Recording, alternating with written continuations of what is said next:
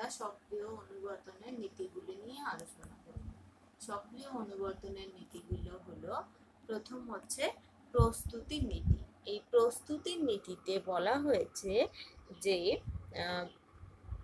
শিক্ষার্থীকে বা এক্ষেত্রে ইঁদুরটিকে আগে পরীক্ষামূলক প্রস্তুতির সঙ্গে, অর্থাৎ পরীক্ষার সঙ্গে তাকে পরিচিত করাতে হবে। অর্থাৎ তাকে খাঁচার মধ্যে ঢোকাতে হবে এবং ট্রেতে খাবার আনতে হবে।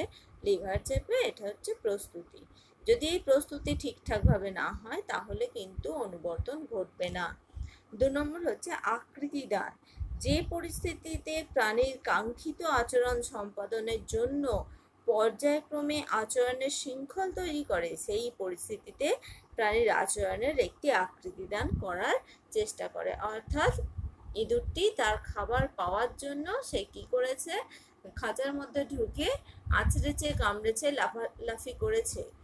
এর মাধ- মধ্যে দিয়ে সে লিভারে চাপ দিয়েছে। অর্থাৎ যখনই সে লিভারে চাপ দিল, তখনই তার মধ্যে একটা শৃঙ্খলা তৈরি হয়ে গেল। অর্থাৎ খাঁচার মধ্যে ঢুকে সে কি করবে প্রথমে? লিভারের দিকে ছুটে যাবে এবং লিভারে চাপ দেবে। এই শৃঙ্খলা তার মধ্যে তৈরি হলো। এক্ষেত্রে সক্রিয় অনুবর্তন তত্ত্বের একটা গুরুত্বপূর্ণ নীতি হচ্ছে শক্তিদায়ক সত্তা। এই শক্তিদায়ক সত্তা কি? না, স্বতঃস্ফূর্ত আচরণ একবার সম্পাদিত হওয়ার পর যে উদ্দীপক প্রাণীর চাহিদাকে পরিতৃপ্ত করতে পারে, তাই হলো শক্তিদায়ক সত্তা। অর্থাৎ এখানে খাদ্য হলো শক্তিদায়ক সত্তা। কারণ খাদ্য ইঁদুরটিকে লিভারে চাপ দেওয়ার শিক্ষণ কৌশলটা শিখিয়েছে। এই শক্তিদায়ক সত্তা আবার তিন রকমের হতে পারে, যথা ধনাত্মক শক্তিদায়ক সত্তা। এটা কি? না, যে উদ্দীপক আচরণের পুনরাবৃত্তিতে প্রাণীকে অনুপ্রাণিত করে, তাই হলো শক্তিদায়ক সত্তা। অর্থাৎ খাদ্য ক্ষুধার্ত ইঁদুরটিকে, ইঁদুরটির কাছে হচ্ছে ধনাত্মক শক্তিদায়ক সত্তা। আরেকটি শক্তিদায়ক সত্তা হচ্ছে ঋণাত্মক শক্তিদায়ক সত্তা। এখানে কি? না, একটা পরীক্ষার্থী যদি কোনো পরীক্ষায় ফেল করে, তাহলে পরবর্তী বছরে সেই পরীক্ষায় পাশ করার জন্য সে আরও মনোযোগ সহকারে পড়ে এবং পড়ার সময় বাড়িয়ে দেয়। অর্থাৎ এই ফেল করাটা তাকে তার শিখন কৌশল শিখিয়েছে, অর্থাৎ কম পড়লে হবে না, তাকে বেশি করে পড়তে হবে। তিন নম্বর শক্তিদায়ক সত্তা হচ্ছে শাস্তিমূলক শক্তিদায়ক সত্তা অর্থাৎ যে উদ্দীপক অপারেন্ট বা আচরণের পুনরাবৃত্তিতে বাধা দান করে, তাকেই বলা হয় শাস্তিমূলক শক্তিদায়ক সত্তা।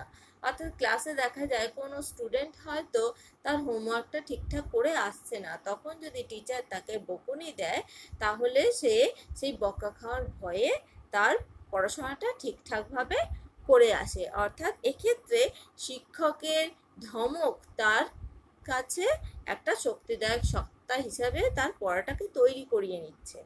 চার নম্বর হচ্ছে আচরণের স্বতঃস্ফূর্ততা।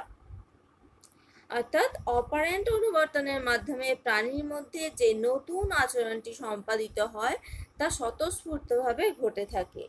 এই অর্থে অপারেন্ট অনুবর্তনের মাধ্যমে যে শিখন হয়, তা স্বতঃস্ফূর্তভাবে সংগঠিত হয়। অবলুপ্তি। যখন প্রতিক্রিয়া ও শক্তিদায়ক সত্তার মধ্যে সঠিক সম্পর্ক স্থাপিত হয়, তখন অপ্রয়োজনীয় বিষয়গুলির অবলুপ্তি ঘটে। অর্থাৎ ক্ষুধার্ত ইঁদুর যখন খাদ্য পায়, তখন সে শুধু লিভারে চাপ দিলে খাবার ট্রেতে আসে এটুকুই মনে রাখে। কিন্তু তার আগে যে সে যে লাফিয়ে, ঝাঁপিয়ে, দৌড়ে, কামড়ে যে পরিস্থিতি সৃষ্টি করেছিল, যে কৌশলগুলো সে অবলম্বন করতে চেয়েছিল, সেগুলোকে সে বাদ দেয়। এরপর শক্তিদায়ক সত্তার শিডিউল এখানে অপারেন্ট অনুবর্তনে শক্তিদায়ক সত্তার উপস্থাপনের ওপর প্রাণীর আচরণের স্থায়িত্ব নির্ভর করে। অর্থাৎ ইঁদুরকে যদি বারবার খাঁচার মধ্যে ঢুকিয়ে তাকে খাদ্য দেওয়া না হয়, তাহলে সে কিন্তু এই আচরণটা ভুলে যাবে। লিভারে চাপ দিয়ে যে খাদ্য আনতে হয়, এই আচরণটা সে ভুলে যাবে। সাত নম্বর হচ্ছে অপারেন্ট শৃঙ্খল। সাত নম্বর হচ্ছে অপারেন্ট শৃঙ্খল। অপারেন্ট অনুবর্তনের অন্যতম একটা বৈশিষ্ট্য হলো এটি। এখানে কয়েকটি অপারেন্ট একটি শৃঙ্খল গঠনের মাধ্যমে একটি জটিল আচরণ সম্পাদন করতে সাহায্য করে। তাই এই বৈশিষ্ট্যকে শৃঙ্খল রচনা বা চেনিং প্রক্রিয়া বলা হয়ে থাকে।